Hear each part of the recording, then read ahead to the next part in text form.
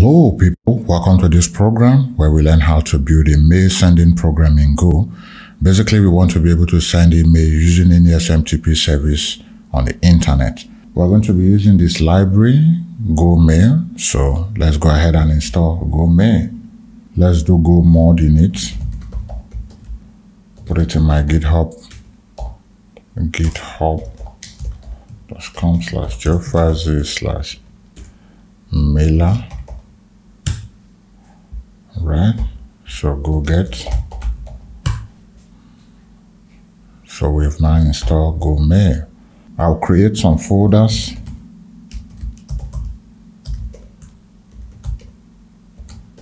The template is where we keep the email programs. And then i'll touch mailer.go Also touch cmd cli main.go think that's about it. So let's do package main. This is where we're going to run our program.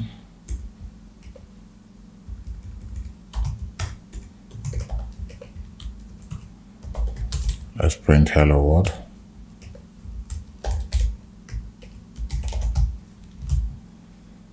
then we should be also package mailer We'll come back to this shortly. Let's do go run. CMD CLI. We should see hello world right here. Fantastic. Next step is to work on the mailer itself. So I need a config, make config, which I think we can call it mailer config. We're going to need a timeout time duration. This is of type struct. I'll need a host. We'll need a port. We'll need the username. Password. Both of them are strings. We're going to need the sender which is also a string case, let's make the template part configurable as well. Then we need the mailer type itself. We need the dialer, which is a pointer to the remember the program that we installed, this mailer. So we are bringing in the dialer, mail.dialer. I have a config here which is this one. And lastly, I'll put the sender here. Let's create a function to help us create an instance. So we'll just pass it the config and this may config and that should give us a new instance. Um, I create a dialer instance, which is mail.mail dialer. So host, port, username, password. Let's configure the timeout, which is our config timeout, and then time to return mailer we need to set the dialer now. Set the sender to config sender. What else? I think that's about it. About it. Uh, config, config last method is we need the so we need a way to send the email now. The way i'm thinking about it is let's say you say m equal to this new that new function that we just created. I want you to be able to do m send.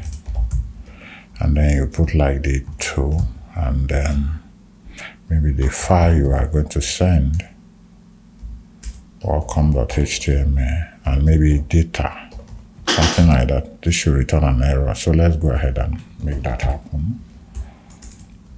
That means we need to add the method to this. Send, we say to, it's a string, to template file. Uh, both are strings. Data, like we said, will be an interface and potential. If we do not have a config template path, I would like to set this to templates by default.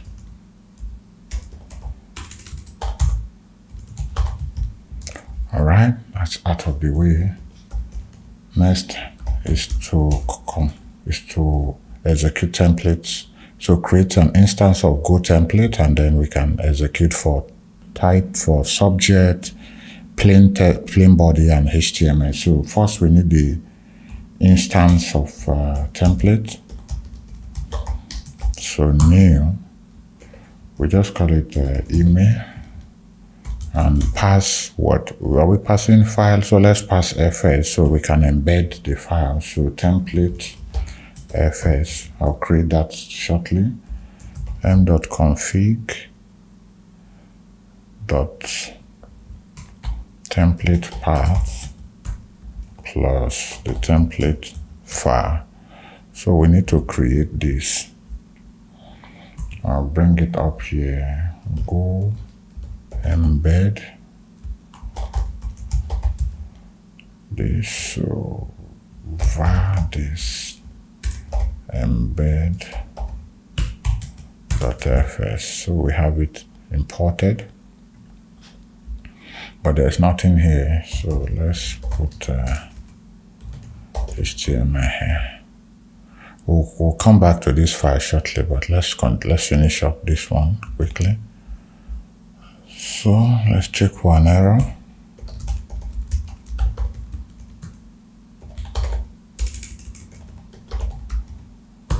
All right. Next is to execute the template. So in our template, for instance, we're going to have define, let's say, subject. And uh, let's say, welcome to our site. Right. So we need to execute this subject, for instance. So we'll say, uh, subject byte dot buffer that would hold our subject so we take our template object and we execute template what are we executing so this one subject and uh, we're passing any data that we might have. Basically, we check for error again. This is the classic way of coding in Go anyway. So we need this, we need for subject, we need for plain body, plain body, we need for subject plain body, we need for HTML body, HTML body. And I think that is about it. Message new message. This is coming from the library that we we just included this instance. If you've done anything with the Rotis um, SMTP before, you you know how that the two recipient and all these things are just headers. So so two two is. Uh, two, we have it here. So I'm just going to copy this and paste it three times. One for subject. Subject is, uh, we already have subject, so the string version of it. Subject from. From is m.sender. This is why I had I included it the second time. And we need to set body.